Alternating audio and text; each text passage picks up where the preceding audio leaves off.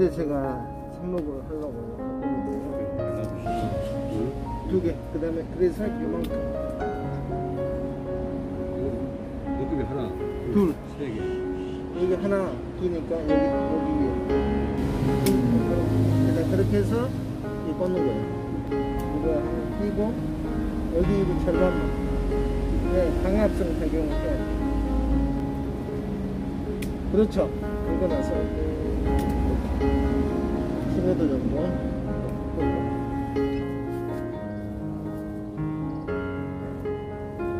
편해요.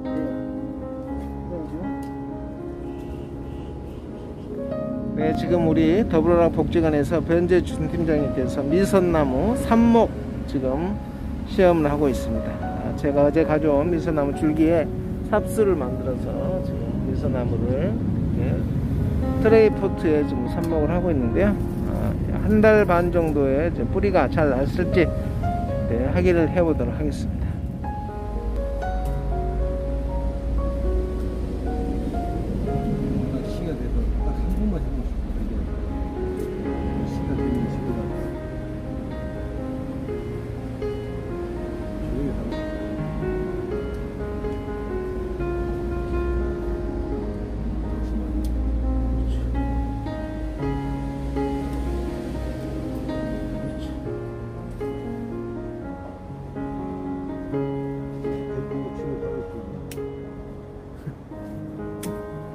열심히 하는 거지. 팀장님은 많은 사람들이 영향력을, 영향을 끼쳐주시는 선한 영향력을 친구들 전화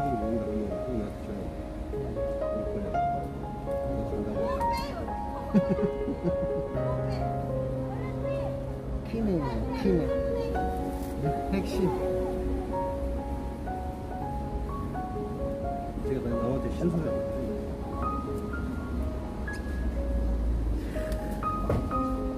그러게 어려운데.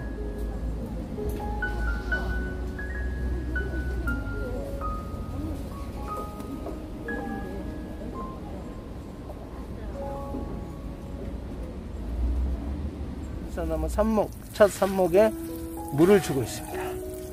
자, 삽목이 성공할지 실패할지는 한 달 반 이후에 영상으로 한번 보여드리도록 하겠습니다. 더불어라 복지관 첫 번째 사업.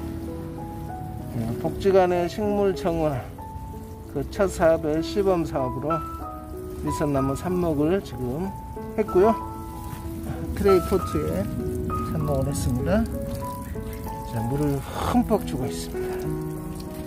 물 주는 것은 기본이겠죠